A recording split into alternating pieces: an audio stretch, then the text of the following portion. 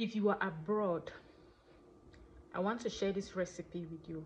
Maybe you want to go and apply for a visa you want to apply for a specific kind of job and you are scared you might not be given that job or your visa might not be granted or it will be denied. You want them to give you that job. You want your visa to be processed very quick very fast. This is bitter cola for those abroad you want to get favor. Eh? this is bitter cola just go to any african shop any african store where they sell these african foodstuffs. They always have bitter cola it's a little bit pricey but believe me with ten dollars i think you can get about five bitter colas get one full bitter cola like this.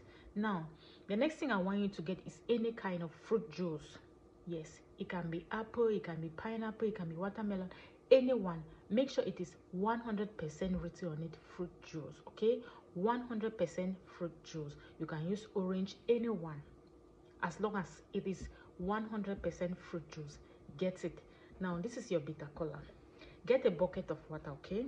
Add one glass of that fruit juice inside. Get this one fresh bitter cola grater it very well. Mix it inside that water and one glass of fruit juice. Pray over it. Call upon your name. Say that thing you want to go and apply for. Maybe it is for a job. Maybe you're going for a job interview or maybe you're going to uh, for your visa appointment or you want to renew your document.